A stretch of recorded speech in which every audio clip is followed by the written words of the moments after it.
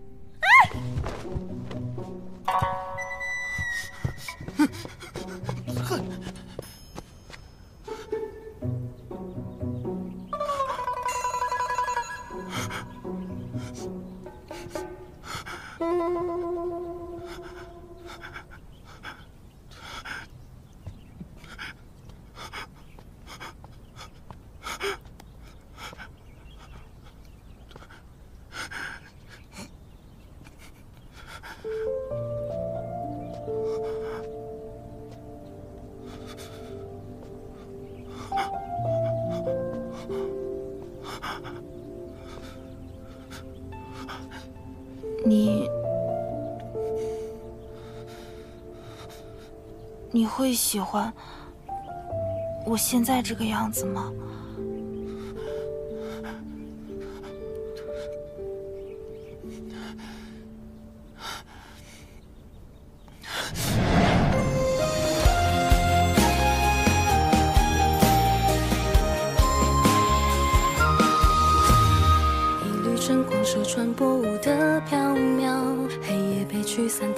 翘起了嘴角，在百合盛开的窗台含笑，风卷起窗帘，吹动你发梢。虔诚祈祷，边疆未知的云霄，一滴水能疗，信仰吹起了号角，随潮汐来去颠倒，没有了预兆，视线给的答案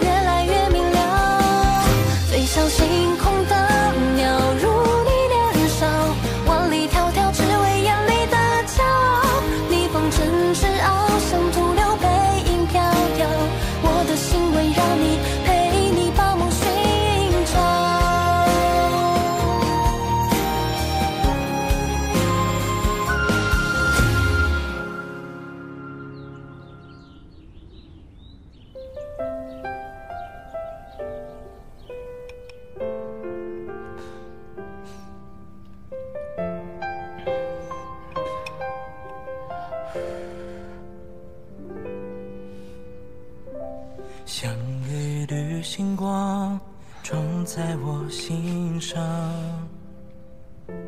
载满心欢喜地藏下忧伤。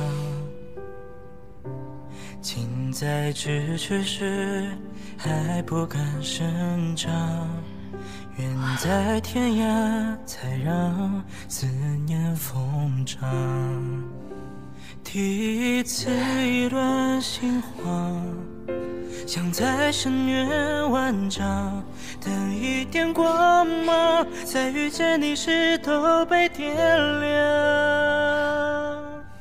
还因你爱情，我才爱得坦荡。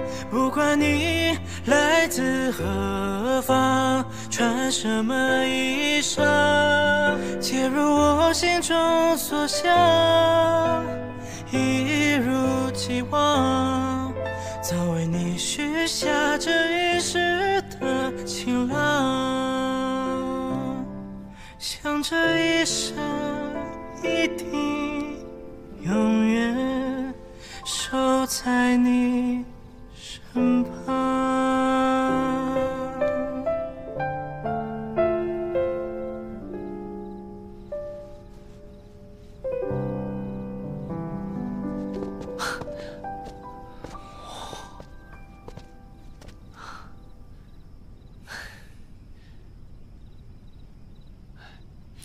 黄三，方墨，他是好点了吗？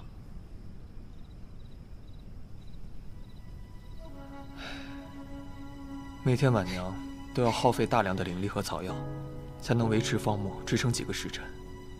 再这样下去，晚娘恐怕也支撑不住了。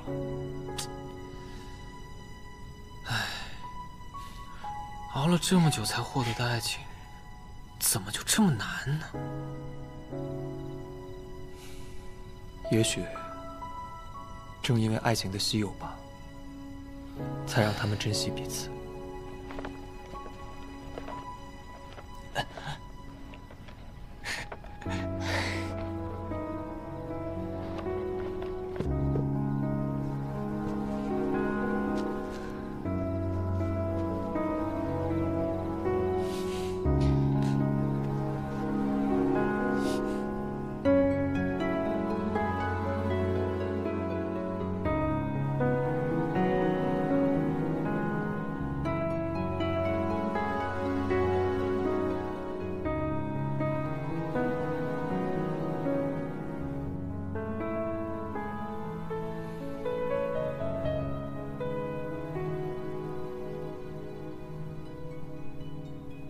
王三，你记着方墨床首的龙息香，每日都要换新。红枣汤要时刻热着，以便方墨醒来及时喝到。文清，你记着，每日午时开南窗通风，在窗前放一屏风，切莫让方墨着了寒凉。婉娘，你这是什么意思啊？你要出远门吗？事到如今，我做再多也无济于事了。婉娘，你这是要去香灵山找元稹师兄啊？这是唯一的办法。婉娘，你不能去！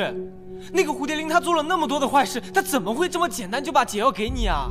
他可是害了宝儿、奶奶和公孙玉容啊！文清。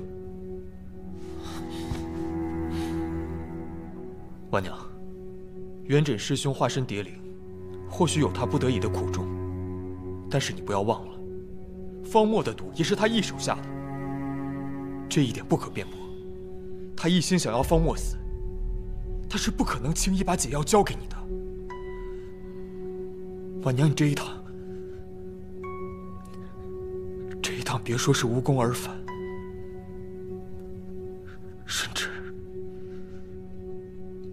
有去无回。师兄三百年前不是这样的，他为何变得如此毒辣？